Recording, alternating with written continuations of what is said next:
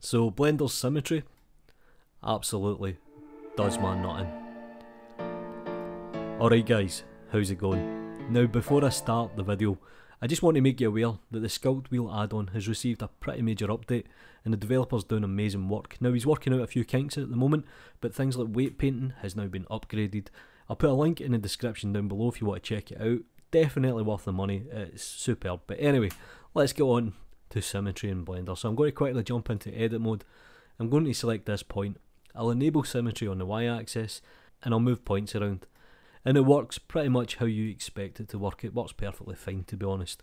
Now, one thing is, let's say for example, I do a loop cut here, and then I do a loop cut on the left hand side. Why haven't you cut on the right hand side? Now, I don't care what anybody says, that is not symmetry, it's not symmetrical. Now, I know what people are going to argue, well, it's only there to manipulate points or polygons ah, why call it symmetry then? and I know what other people are going to argue is, why don't you use the mirror modifier? Ah, okay, fair enough, that's a good point.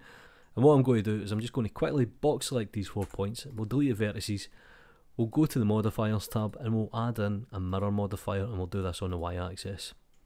Looking good, perfectly fine.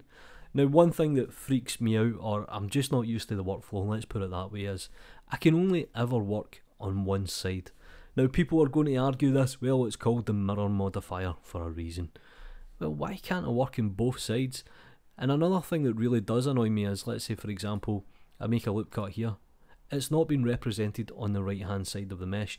Now, this could be me, to be honest. I might be doing something wrong, and if I am, please make me aware in the comments. Now, if you jump into wireframe mode, it works perfectly fine. The cuts are there. Now what you can do with the mirror modifier is you can actually enable clipping, so if you grab a point and move it over right over, it will stop in the middle. Perfect, that's a great little feature to be honest. Now let me just quickly show you why not being able to work in both sides drives me crazy. So I'm going to open up Lightwave Modeler here, I'm just going to quickly draw in a box, F2 to centre, and I've enabled symmetry, and I'll use something like the knife tool, and I'll just quickly knife it down. And you can see here, it's cut on both sides perfectly fine and that's just symmetry it's on. Now what I can do for example is I can work on any side so if I want to grab a point I'll do it on the opposite side. So it means I can jump from left to right which means I can actually work like this.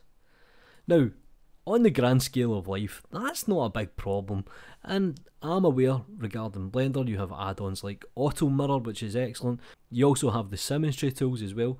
But I just find this completely stupid. Now, I wanted to put this out there because maybe it's just me and maybe I'm just kind of blowing things out of proportion. Or maybe you have a better workflow for being able to see both sides of the mesh or being able to manipulate both sides of the mesh at the same time. But anyway, that's my rant. Check out Sculpt Wheel, do me a favour, please support third party developers. Like video, subscribe to the channel if you haven't already, follow me on Twitter, support me in Gumroad. You know what to do. Take care.